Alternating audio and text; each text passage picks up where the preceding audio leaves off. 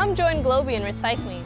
There are these recycling bins located all over 119th Street, the Oil City Stadium, the Whiting Lakefront Park, and the Whiting Municipal Sports Complex. Help us keep Whiting a green community.